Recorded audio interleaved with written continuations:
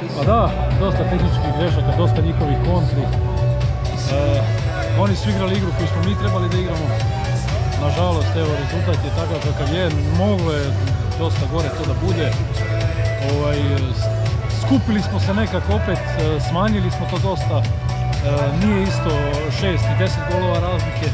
Mislim da u Našicama imamo drugo polovreme i veliku šansu da pokažemo da smo pravi i, ovaj, i glave da.